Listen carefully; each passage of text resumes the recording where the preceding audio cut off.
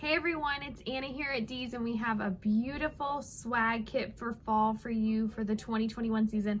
And I am most excited about this one because it's incorporating beautiful blueberries and a navy pumpkin ribbon. Blue is so big for all seasons. We have some gorgeous blue Christmas stuff coming up that always sells super well and we're definitely putting a lot of blue into fall this year more than normal. And today I'm gonna pair it with this beautiful neutral white pumpkin stem. So the reason I like this is because some people don't want to necessarily put blue with orange. They want to do blue because they have it in their homes and accent it with a more neutral look.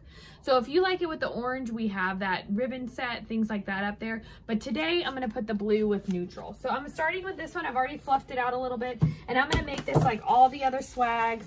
I just fluffed it out. We've got some really beautiful blueberries. We're going to do the exact same thing, fluff them a little bit, chop the stem and set that aside. We're going to tie our ribbon. So today, the ribbon is to die for. We've got our navy blue-backed pumpkin. I am obsessed with this one. It's so beautiful. It's got the little green leaves too, which is gonna look nice. And this swag you can easily twist onto a boxwood like I'm going to, but if you have a lantern at home, this is gonna work great on the lantern. It's gonna work great on a grapevine, wherever you wanna put it. We're pairing it with a one and a half inch green dot. It's got an ivory dot in there too, so it goes really well with the pumpkin ribbon and the ivory pumpkin on the stem. Now we're just gonna take our piece of cloth covered wire.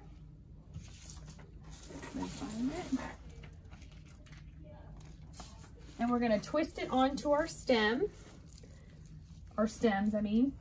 Okay, so you're just gonna go right behind that pumpkin. I'm gonna go kind of go down so make sure you get both stems though.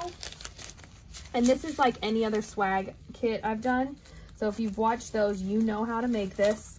Twist it on and now you're ready to twist it onto your wreath. So you don't necessarily have to do a wreath. You could do the lantern like I was saying. I'm gonna put it up here first and then I'm gonna show it to you on the top of a lantern too. So I'm just gonna twist this on and then I'm gonna fluff everything around. So let me get my my loops either side of that pumpkin.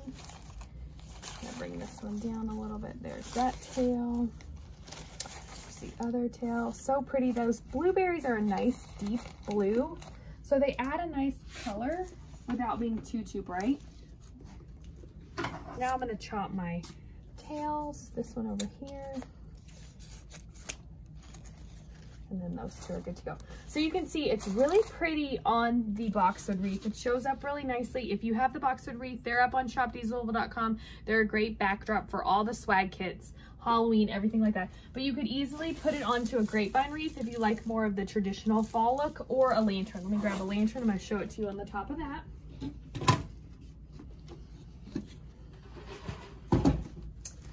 So when we do them on the lanterns, we basically just do the opposite with the stems where the majority of it kind of comes down instead of going up.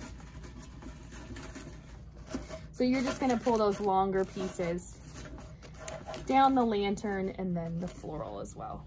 Look how pretty that is. So either way, it's a nice way to start to incorporate blue if you wanna try out the blue trend, but you don't wanna change a lot of stuff. Twist it onto a lantern, maybe a wreath on your back door, and head to shopdeeslouisville.com and get yourself this blueberry pumpkin swag kit.